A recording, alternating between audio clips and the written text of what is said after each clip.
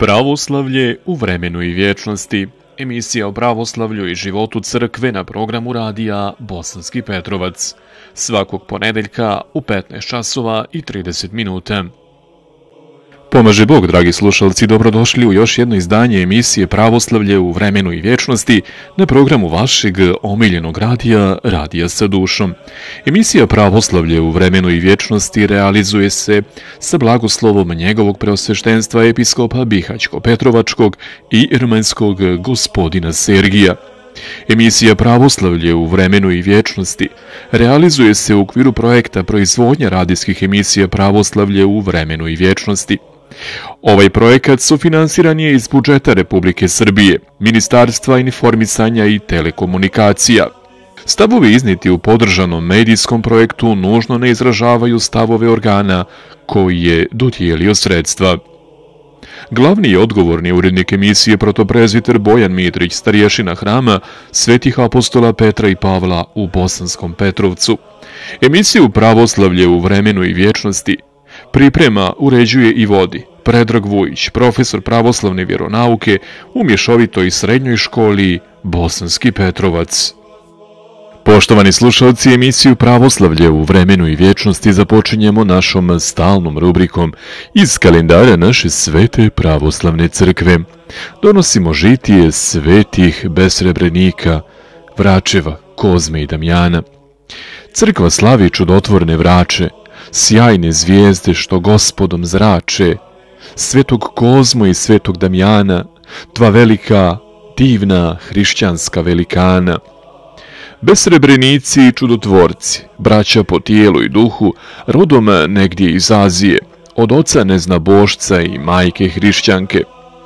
Po upokojenju oca njihova majka Teodotija posveti sve vrijeme i trud da sinove svoje vaspita i podigne kao istinite hrišćane i Bog joj je neizmjerno pomogao u tome, te sinovi njeni izrastoše kao dvije slatke voćke i kao dva velika svjetilnika svijeta.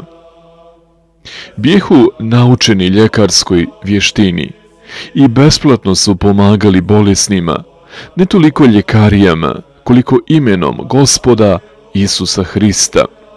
I bijehu prozvani bezmeznim vračima, to jest besplatnim ljekarima, jer su besplatno liječili i tako su ispunili Hristovu zapovijest, badava primiste, badava i dajte. Toliko bijehu oprezni u besplatnom liječenju ljudi, da se Kozma istinski naljuti na brata svog Damjana, što ovaj uze tri jajca od neke žene Paladije i naredi Kozma, da poslije upokojenja njegovog ne sahrane ga do brata mu Damjana.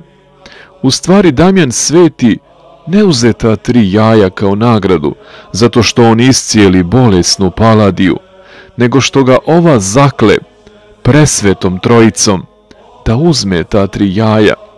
Ipak po upokojenju njihovom, u mjestu Feremanu, bijehu zajedno sahranjeni shodno otkrovenju Božijem, bijehu ova braća sveta čudotvorci veliki, i za života i poslije upokojenja. Nekome težaku pri spavanju se uvuče zmija kroz usta u stomak i imaše bijedni čovjek u najvećim mukama izdahnuti, da u posljednjem času ne prizva u pomoć svetog Kozmu i svetog Damjana. I tako proslavi gospod zauvijek čudotvorstvom one koji njega proslaviše na zemlji, vjerom, čistotom i milošću sveti besrebrenici i čudotvorci Kozmo i Damjane, iscijelite nemoći naše, besplatno ste dobili dar iscijeljenja, besplatnom ga nama i darujte. Prenos moštiju svetog Georgija Đurđic Ovaj praznik ustanovila je naša sveta pravoslavna crkva, kao uspomenu na prenos moštiju svetog Georgija iz Nikomidije u gradu Lidu Palestinsku, gdje postrada ovaj divni i veliki velikomučenik Boži, sveti Georgije u vrijeme cara Dioklecijana.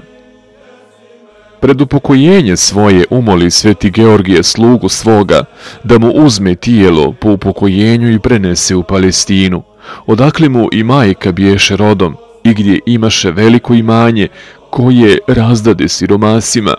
Sluga tako i učini. U vrijeme cara Konstantina bio je sazdan u Lidi krasan hram Svetog Georgija od strane pobožnih hrišćana, pa prilikom osvjećenja toga hrama prenesu se u njega mošti svetiteljeve i tu se časno sahrane. Bezbrojna čudesa dogodila su se od čudotvornih moštiju svetog velikomučenika Georgija, veliko mučenika Hristovog. Georgije mučeniče, Georgije pobjedniče, kroz muke si pobjedio i kroz smrt si se proslavio. Molitva svetom Georgiju O sveslavni, sveti velikomučeniče i čudotvorče Georgije, pogledaj na nas brzom pomoću svojom i umoli čovjekoljubca Boga da nas grešne ne osudi po bezakonjima našim, nego da postupi sa nama po velikoj milosti svojoj. Ne prezri moljenje naše, nego nam isprosi od Hrista Boga našeg tih i bogougodan život. Izmoli za nas duševno i tjelesno zdravlje, plodnost zemlje i izobilje u svemu, i da blaga, darovana nam od svemilosrdnog Boga preko tebe, ne okrenemo na zlo, nego na slavu svetog imena njegovog i na proslavljanje moćnog zastupništva tvog. Da gospod da pravoslavnim hrišćanima pobjedu nad nečastivim, da ih ukrepi nepokolebljivim mirom i blagoslovom, naročito pak da nas okruži vojskom svetih anđela svojih, kako bismo se po izlasku našem iz ovog života izbavili od zamke lukavoga i strašnih vazdušnih mitarstava njegovih i neosuđeni predstali predstolu gospoda slave.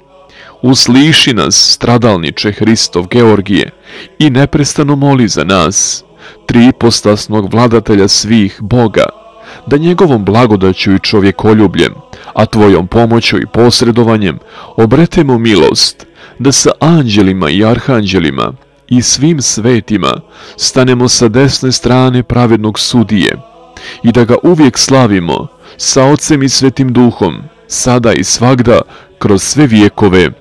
Amin.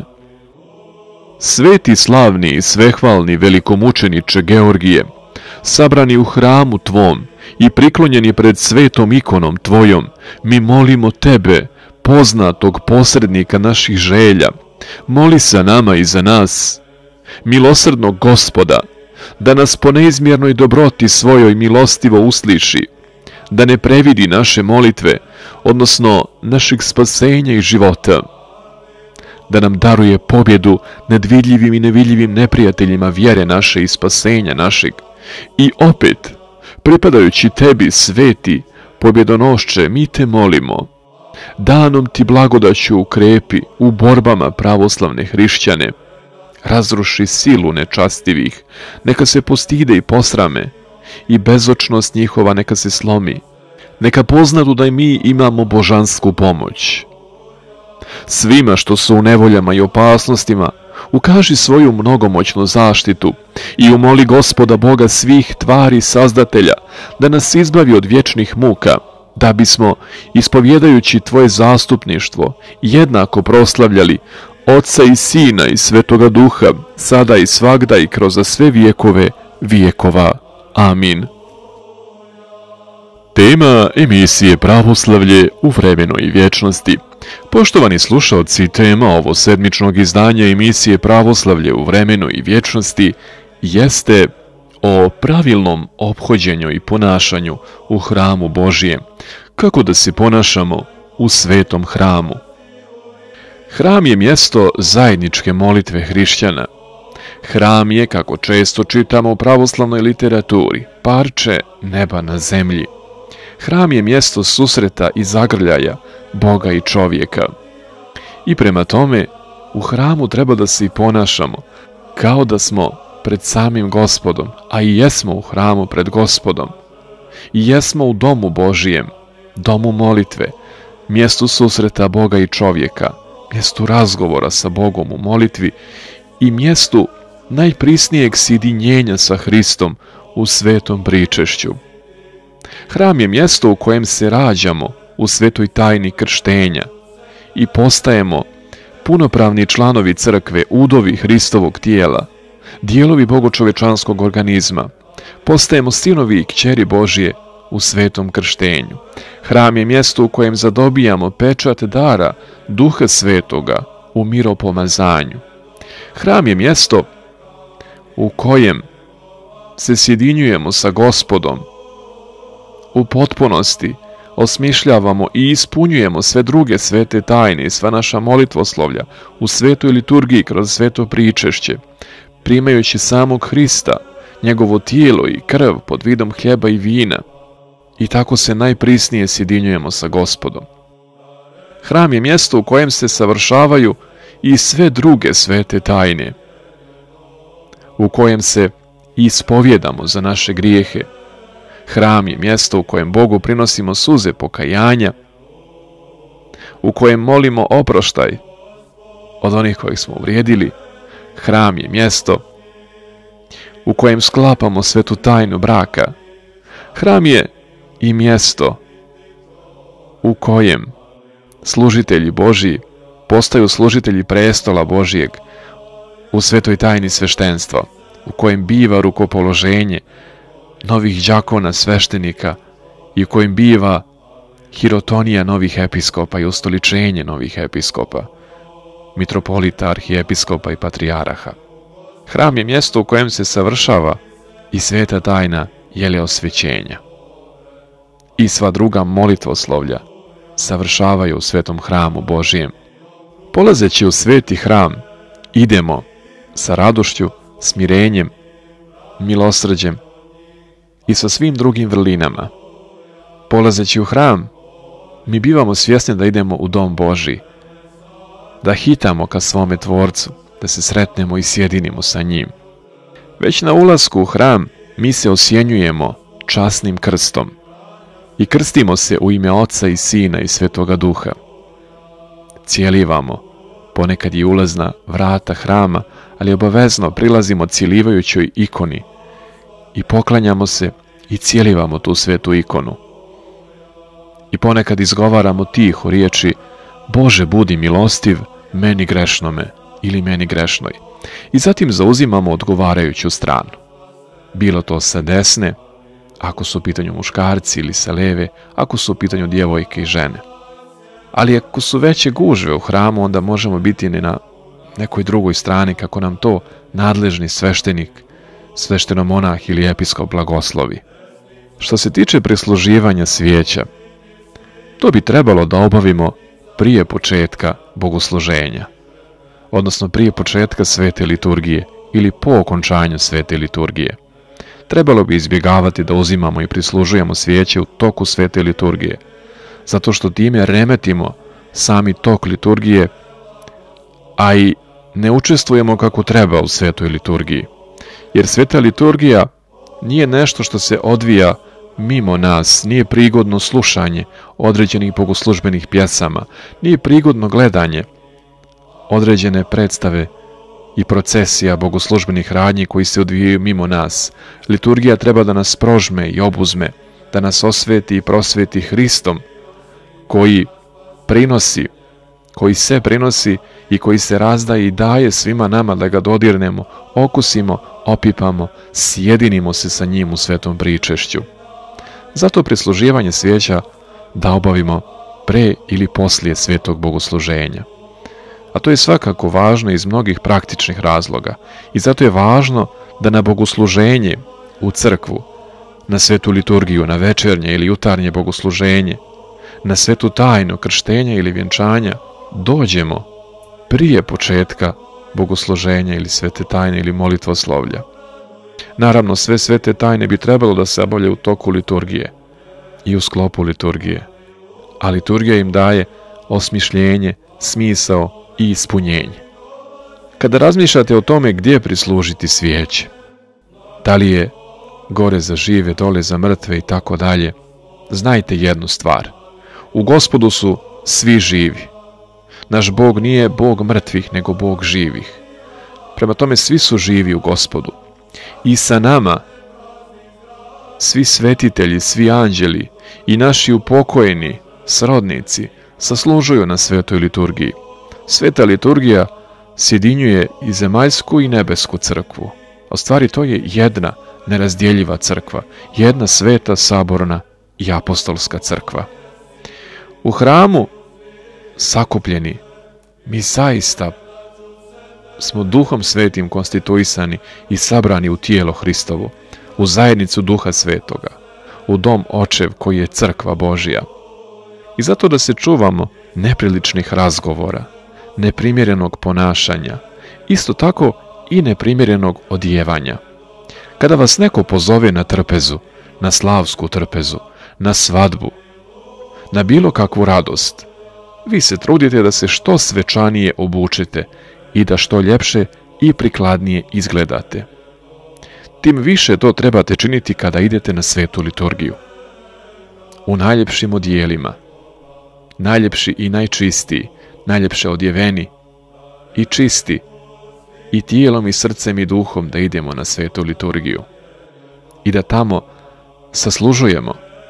Kada smo na svetoj liturgiji, onda mi u liturgiji učestvujemo. Veoma je važno da znamo da mi ne posmatramo, da mi učestvujemo u svetoj liturgiji, da smo pozvani da učestvujemo. A to znači da shodno praksi i blagoslovu sveštenika mi pojemo na liturgiji, mi odgovaramo tiho, ne narušavajući poredak, sa amin na svešteničke riječi, na sveštenički blagoslov, vozglas, blagosloveno carstvo Oca i Sina i Svetoga Duha, kojim počinje sveta liturgija, mi kažemo amin. Što znači neka tako bude. Na prve riječi nakon tog vozglasa, u miru gospodu se pomolimo, odgovaramo gospodi pomiluj ili gospode smiluj se. I tako odgovaramo na riječi vozglasa i jektenija koje čita i izgovara sveštenik ili episkop ili đakon na svetoj liturgiji. I pobožno učestvujemo. Za vrijeme našeg učešća na svetoj liturgiji, a i prije i poslije kada dolazimo u hram, ne bi trebalo da fotografišemo ili snimamo bez blagoslova nadležnog sveštenika u parohijskoj crkvi ili bez blagoslova igumana ili arhimandrita ili igumanije u manastirskim crkvama. Naša crkva je crkva mira i poredka i postoji poredak. Postoji poslušanje. Prema tome sve što činimo da činimo sa blagoslovom nadležnih sveštenoslužitelja, sveštenomonaha, igumana ili igumanija. Kada traje liturgija, obično nam dosta toga sveštenik i kaže kroz samu molitvu. Kada čujemo premudrost, smjerno stojimo, čujmo sveto evanđelje. To znači da stojimo kada se čita evanđelje, a ne klečimo. Kada čujemo opet i opet kleknimo i pomolimo se gospodu, onda sa ostalim vjerujućim narodom u crkvi i sveštenstvom i mi prinesemo metaniju ili kleknemo i pomolimo se. Obično to biva u molitvama priziva Svetog Duha ili obično to biva u toku velikog posta, kada činimo metanije, to su veliki pokloni u vidu klečanja ili poklonjenja gospodu. Kada sretnemo sveštenika, prekrštenih ruku tražimo blagoslov. Pozdravimo sveštenika, pomaže Bog, oče, blagoslovite. I cijelivamo ruku sveštenika. Mi tijeme cijelivamo samu Hristovu ruku, kojom nas Hristos preko sveštenika nevidljivo blagosilja.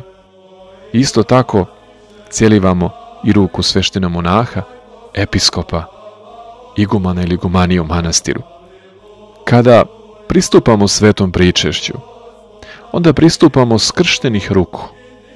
Prethodno smo pročitali molitve pre pričešća i pratili smo i onu molitvu koju sveštenik čitao za nas pred sveto pričešće i smireno pristupamo ka Hristu. Sve što činimo, činimo sa blagoslovom. Tako i svetom pričešću pristupamo sa blagoslovom sveštenika. neophodni uslov za pričešće je da smo kršteni. Također, trebalo bi da se pripremamo onako kako nam je blagoslovio naš duhovnik. I da ne razmišljamo sami, bez blagoslova sveštenika o tome i da donosimo zaključak kako smo nedostojni. Braćo i sestre, djeca duhovna, niko nije dostojan da pristupi pričešću, ali se udostojavamo po blagodati Božjoj. Bog je ljubav i On nas priziva, kao što je prizvao i razbojnika i bludnicu i svakog drugog grešnika na pokajanje. Tako i nas priziva da pristupimo, tako i nas grli. To ne znači da tek tako olako srljamo, padamo u grijeh i eto, pričešćujemo se i pristupamo kao bilo kakvoj drugoj hrani. Ne. Kada pristupamo pričešću, treba da znamo da pristupamo najsvetijem tijelu najsvetijoj krvi, najsvetijeg od svih gospoda Hrista.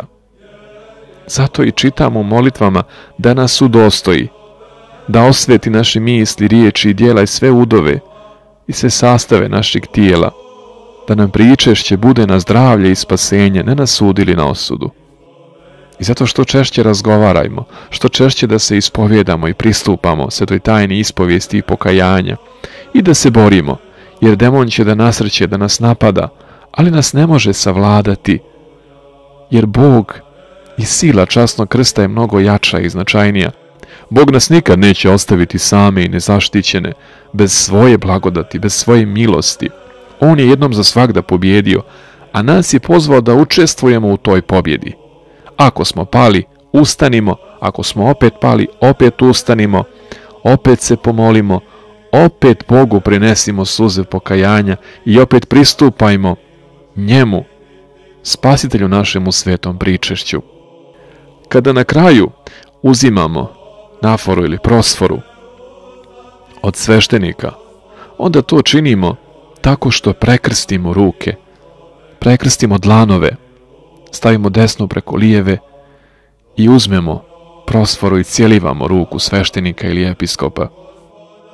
Što je najvažnije, uvijek sa smirenjem. Svemu pristupajmo i razgovarajmo sa sveštenikom. Razgovarajmo sa vjeroučiteljima, sveštenicima, sveštenim monasima i monahinjama. Uvijek su oni tu za nas i uputit će nas u sve. Najvažnije je da imamo čisto srce, jer blago onima koji su čistog srca, oni će Boga vidjeti. Kad god idete u hram, naoružajte se vjerom, nadom i ljubavlju. Ponesite mnogo ljubavi. Apostol Pavle kaže ne treba mi ništa vaše, nego vi mi trebate. Ništa vaše nego vas trebam. I gospod treba nas. A preko nas se osvećuje sva tvorevina. Mi bivamo i tvorci i sveštenici. Mi prinosimo Bogu na osvećenje cjelokupnu tvorevinu. Ne zaboravite to. I zato da idemo u hram na molitvu, da se što češće pričešćujemo i da jedni druge volimo, da iskorijenimo iz naših srca mržnju, zlobu, pakost, nemir, a da unesemo mir, radost, sreću, vjeru, nadu, ljubav, smirenje, dugotrpljenje, krotost i revnost u vjeri. I da budemo istinski crkveni, vjerujući ljudi, ljudi koji žive u vjeri, u krsno-vaskrsnoj nadi i u ljubavi Božjoj, da budemo zaista ljudi koji se iskreno mole i najiskrenije Boga i bližnjeg vole. Čovjek koji zadobije ljubav i ponese je u srcu svome, on ima Boga u srcu svome, jer Bog je ljubav. I tako imajući Boga, bivajući pričešćen njime, on ga nosi u srcu i on njime osvećuje i prosvećuje sve oko sebe. Taj čovjek se više ne gordi, ne nadima se. Taj čovjek ima vrlinu smirenja, poslušnosti, krotosti. On više nikog ne mrzi. On nikome ne zavidi. On nikoga ne osuđuje. Već svakoga ka Hristu Bogu i crkvi njegovoj upućuje. I svima je poslušan. Moli se i za sebe i za druge. I zato daje imena bližnjih ljudi u crkvi sveštenicima da pominju ta imena i sam pominje imena u molitvi i sam se moli za druge. E to je pokazatelj istinske ljubavi. To je pokazatelj istinskog crkvenog života, kakav treba da imamo i zadobijamo našim učešćem u svetoj liturgiji. Sa vjerom i ljubavlju krenimo u hram i zaplovimo u beskraj Božije ljubavi. I tako smo došli do kraja još jednog izdanja emisije Pravoslavlje u vremenu i vječnosti na programu vašeg omiljenog radija, Radija sa dušom. Boga molite i bližnje volite i ne zaboravite. Volite život i živite samo da biste voljeli. Do slušanja i prijatno.